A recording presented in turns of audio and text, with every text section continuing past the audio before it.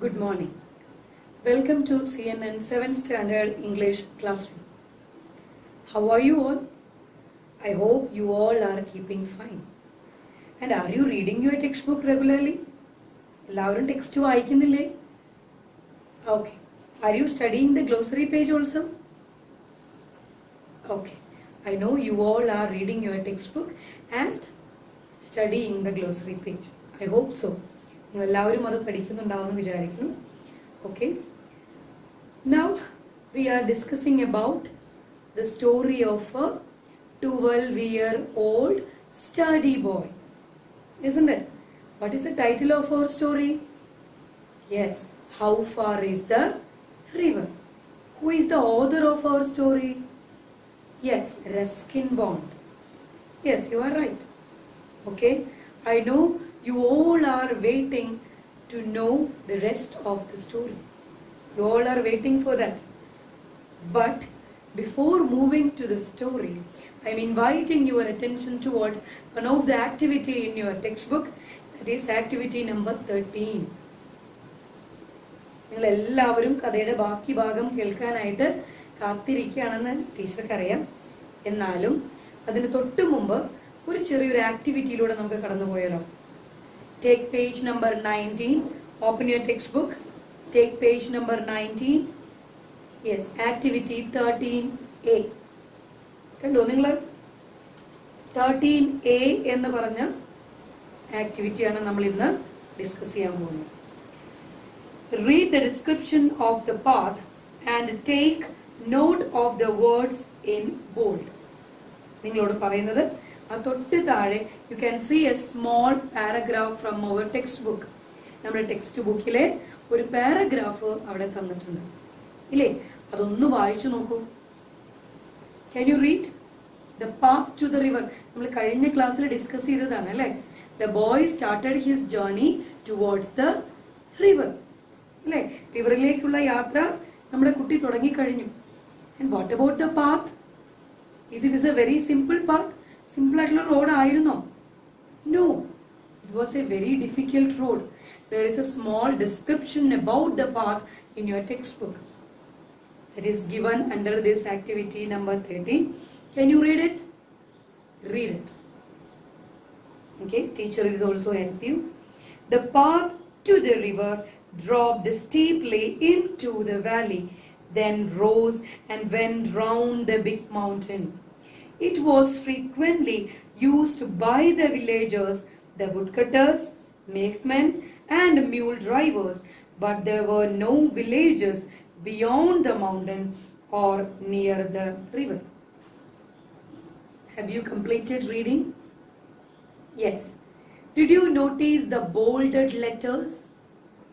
Which are the bolded letters in the paragraph? Yes. To, into, round, by, beyond, near.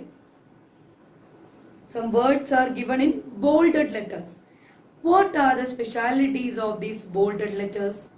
ആ ബോൾഡഡ് ആയിട്ട് കുറച്ച് കട്ടിയായിട്ട് കൊടുത്തിട്ടുള്ള ആ വാക്കുകളുടെ പ്രത്യേകത എന്താണ് എന്തെങ്കിലും പ്രത്യേകതയുണ്ടോ ആ വാക്കിന് നിങ്ങൾ നമ്മൾ സ്ഥിരമായിട്ട് വായിക്കുമ്പോൾ കണ്ടുവരാറുള്ള പരിചയമുള്ള വാക്കുകൾ തന്നെയാണ് അല്ലേ അതിനെ നമുക്ക് ഇംഗ്ലീഷിൽ ഒരു വിളിപ്പേരുണ്ട് these types of words are called prepositions.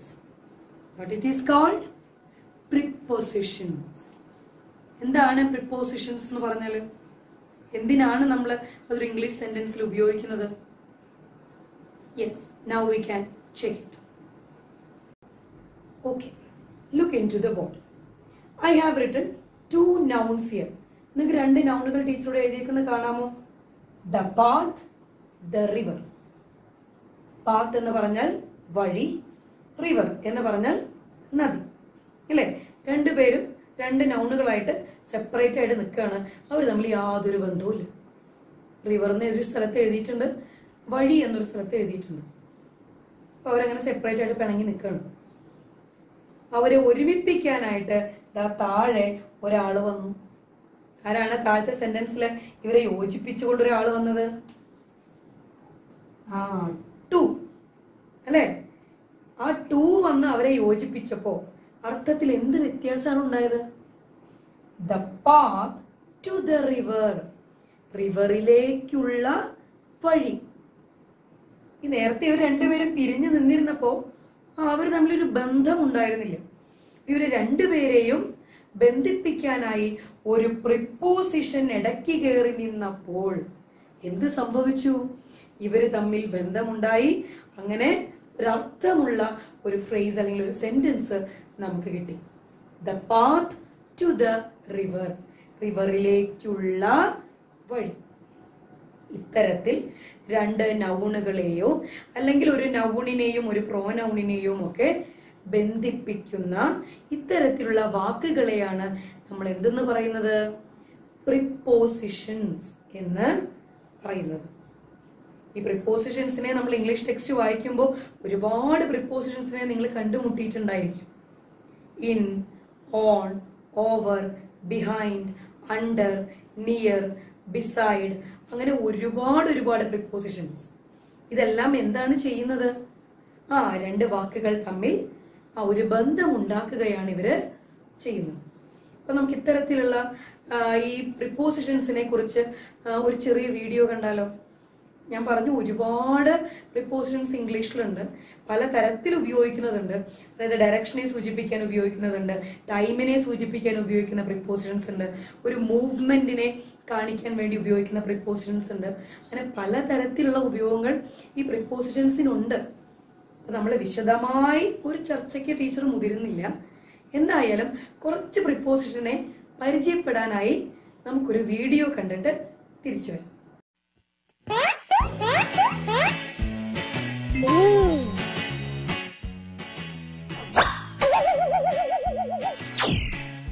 Introduction to prepositions.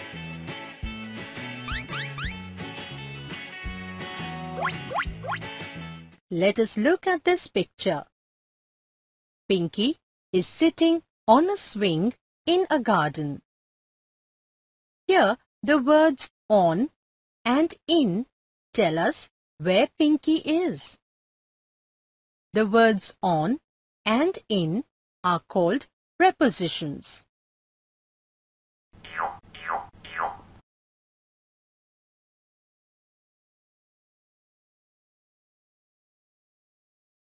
Prepositions are words which tell us where a person, animal, place or thing is.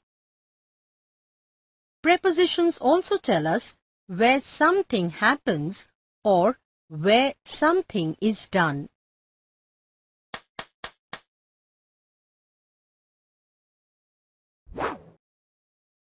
Let us learn about prepositions with the help of some examples. Pinky is sitting near the window. Pinky is playing behind the house. Pinky is hiding inside a cupboard. Pinky is jumping over a wooden block. Pinky is standing between Raju and Chintu. Observe these words near, behind, inside, over and between.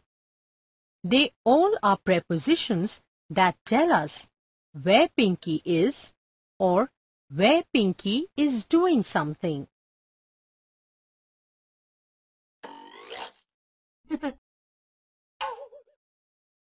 Some more examples of prepositions are under, above, into, beside, with, down, towards, outside, by, upon, etc.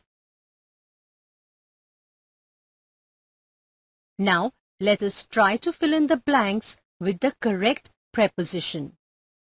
Observe the first example. Looking at the picture, we can see that the correct preposition here is up. So, the sentence will be, the stars are up in the sky. Now, let us look at the other example. The correct preposition here is in front of. So, the sentence will be, the ball is in front of the bed. Let us see one more example. After looking at the picture, we can see that the correct preposition here is beside. So, the sentence will be, the cat is standing beside the chair.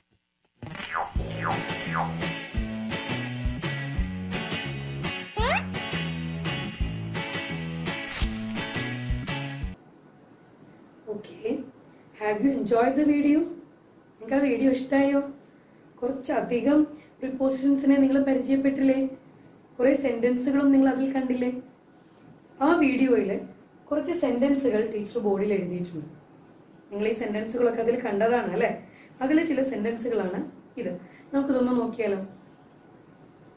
Pinky is sitting on a swing in a garden Pinky എന്താ ചെയ്യുന്നത്?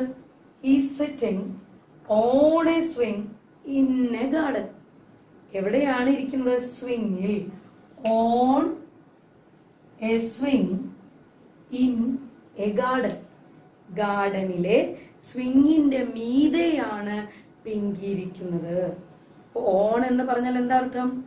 ആ മീതെ in എന്ന് പറഞ്ഞാൽ ആ ഗാർഡനിൽ എന്നർത്ഥം. ഗാർഡനിലെ ഊഞ്ഞാലിന്റെ മീതെയാണ് പിങ്കിയിരിക്കുന്നത്. അല്ലെ? ഇവിടെ ബന്ധം കാണിച്ചത് കണ്ടു. രണ്ട് പ്രിപ്പോസിഷൻസിനെ ഈ സെന്റൻസ് നമ്മൾ പരിചയപ്പെട്ടില്ലേ? ഓൺ ആൻഡ് ഇൻ അടുത്തത് നോക്കാം.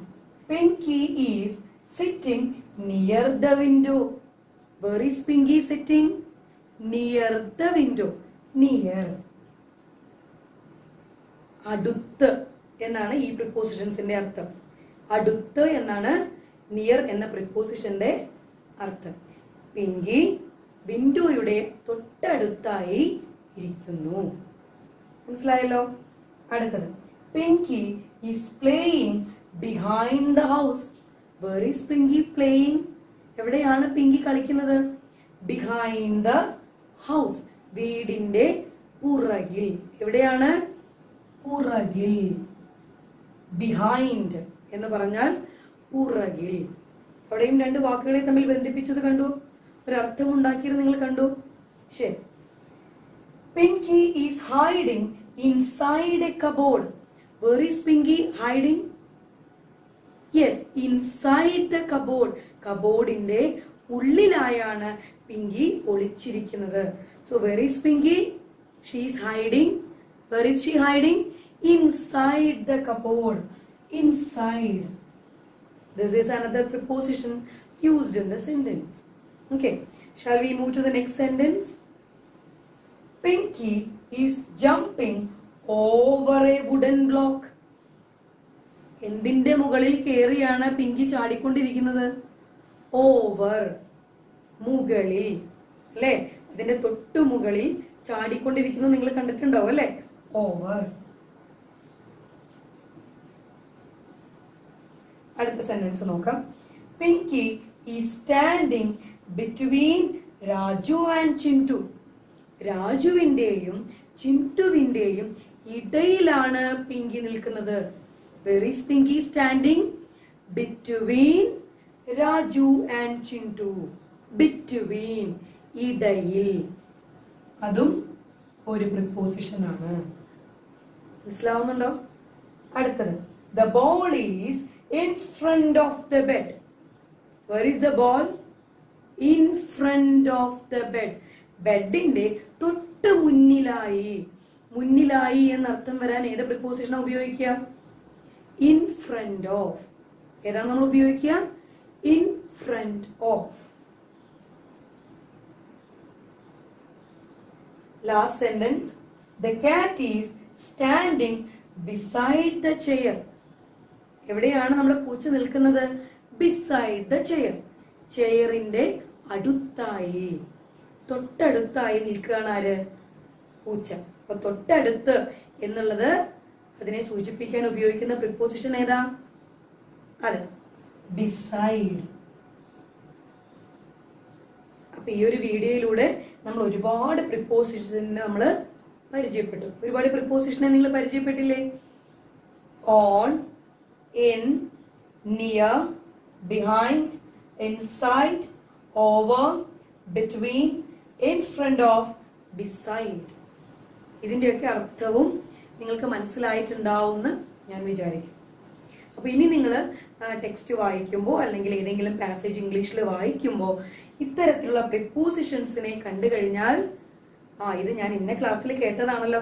അതിന്റെ ഇടയിൽ ഒന്ന് അണ്ടർലൈൻ ചെയ്ത് അതിന്റെ മീനിങ് ഒന്ന് മനസ്സിലാക്കാനായിട്ട് ശ്രമിക്കണം നിങ്ങൾ ശ്രമിക്കില്ലേ? ശരി. അപ്പൊ നമുക്ക് ഇതിന്റെ തൊട്ടടുത്ത ആക്ടിവിറ്റി ഒന്ന് ചെയ്തു നോക്കിയാലോ? Yes take page number twenty on your text book